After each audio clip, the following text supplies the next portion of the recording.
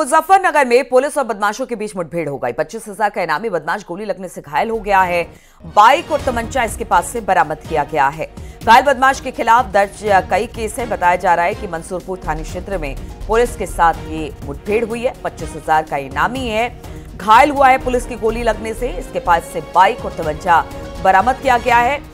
हम आपको बता दें कि घायल बदमाश के खिलाफ कई मामले पहले से दर्ज हैं।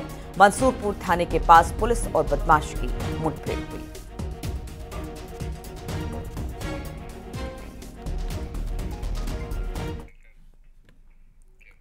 और बीजेपी ने राज्यसभा चुनाव के लिए उत्तर प्रदेश में सात उम्मीदवारों के नामों का ऐलान कर दिया।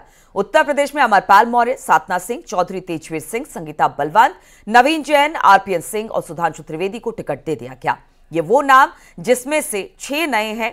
यानी कि बीजेपी ने इस बार राज्यसभा के लिए छह नए चेहरों का दाव खेल दिया है, जिनकी जीत लगभग तय मानी जा रही है।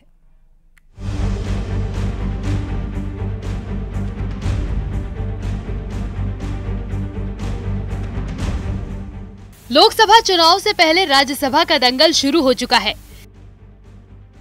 चेहरे फाइनल हो गए हैं और उन प्रत्याशियों को मैदान में उतारा गया है, जिससे 24 का संदेश दिया जा सके।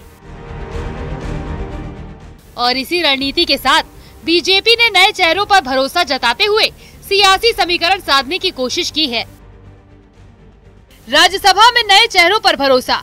बीजेपी ने सात में से छह नए चेहरे उतारे हैं।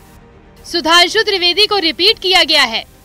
काशी क्षेत्र के प्रभारी अमरपाल मौर्य को राज्यसभा का टिकट मिला। गाजीपुर की संगीता बलवंत को भी मौका मिला है। आरपीएन सिंह को राज्यसभा भेजा जा रहा है। तो वहीं तेजवीर सिंह और साधना सिंह को भी मौका मिला है। राज्यसभा चुनाव के लिए प्रत्याशियों के नाम का ऐलान, लोकसभा चुनाव के लिहाज से काफ़ी अहम है। क्योंकि बीजेपी ने इसके ज़रिए क्षेत्रवार पूरब से पश्चिम और उत्तर से दक्षिण को साधने की प्लानिंग की है। भारतीय जनता पार्टी ने उच्च सदन के लिए अपने नामों का ऐलान कर दिया है। इस लिस्ट में इस बात का खास ख्याल रखा गया है कि सभी जाति के लोगों को सही से प्रतिनिधित्व दिया जा सके। इन सब के बीच में सबसे खास बात यह है कि आरपीएन सिंह जो कि उत्तर प्रदेश में पूर्वांचल से आते हैं, उनको राज्यसभा का प्रत्याशी बनाया गया है। 2022 के विधानसभा चुनाव से ठीक पहले कांग्रेस छोड़ करके आरपीएन सिंह ने बीजेपी का दामन थामा था और वो लोकसभा के प्रबलतम दावेदार माने जा रहे थे। राज्यसभा सांसद की 10 सीटों के लिए होने वाले चुनाव में बीजेपी को सात और समाजवादी पार्टी को दो सीट मिलना तय है। अगर बीजेपी ने सात सीटों पर संतोष कर लिया तो सपा को तीन सीट मिलेगी। लेकिन बीजेपी ने आठवीं सीट के लिए संघर्ष किया तो चुनाव की नौबत आएगी।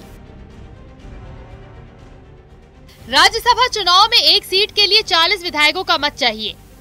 बीजेपी के पास 277 मत होने से सात सीट पहले से तय है। समाजवादी पार्टी के पास 117 विधायक होने से दो सीट तय है। ऐसे में आठवीं सीट के लिए बीजेपी, एसपी में फाइट होगी। आठवीं सीट के लिए बीजेपी को 40 और सपा को एक सीट चाहिए। ऐसे में जानकारों का कहना है कि ये भी संभव है कि बीजेपी साथ ही सीट पर संतोष कर चुनाव को निर्विरोध संपन्न कराए।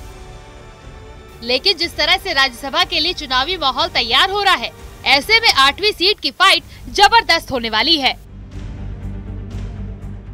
Bureau report, news eighteen.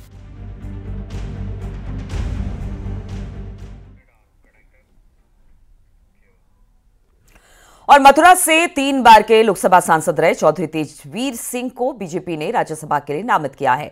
Tejveer Singh ने न्यूज़ एटीन से खास बातचीत की है। सुनिए जरा क्या कहा उन्होंने। देखिए, मैं पार्टी का एक निष्ठावान कार्यकर्ता हमेशा से रहा हूँ और पार्टी के हर पद पर संगठन में मैंने काम किया है, छोटे से लेके बड़े पद तक। और मैंने हमेशा कार्यकर्ताओं का सम्मान जो देना चाहिए एक राजनेता को, कार्यकर्ताओं का हमेशा सम्मान किया है। कार्यकर्ता आज भी मुझे 20 साल हटे हुए हो गए लोकसभा से, लेकिन कार्यकर्ता मुझे आज भी सांसद कहता है और उसी रूप में मुझे मेरे कार्यकर्ता देखते हैं। तो सबसे पहले तो मुझे जो आशीर्वाद है, वो यहाँ के कार्यकर्ताओं का मुझे मिला है और उसका ये सुपरिणाम है मैं धन्यवाद देना चाहता हूँ आदरणीय मोदी जी को, आदरणीय अमित शाह जी को और आदरणीय नड्डा जी को। और प्रदेश में अपने यशस्वी प्रदेश अध्यक्ष, अपने माननीय मुख्यमंत्री जी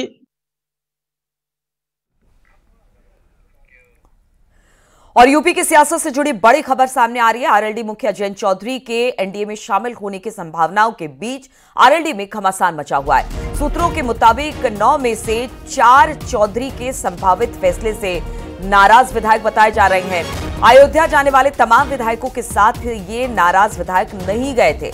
अयोध्या जाने पर भी पार्टी में दो फाड़ दिखाई दे रहा है। तो जयंत जो अब तक एनडीए में जाने की बात कर रहे थे अब देखना होगा कि इन नाराज़ विधायकों के साथ कैसे वो सामंजस्य बिठाते हैं, क्योंकि नौ विधायक हैं आरएलडी के और चार विधायक बताया जा रहा है कि नाराज़ चल रहे हैं।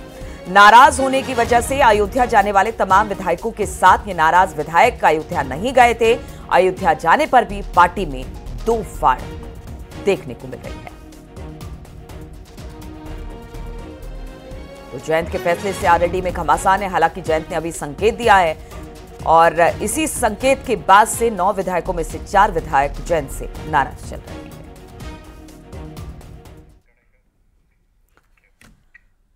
और रुकेंगे आप।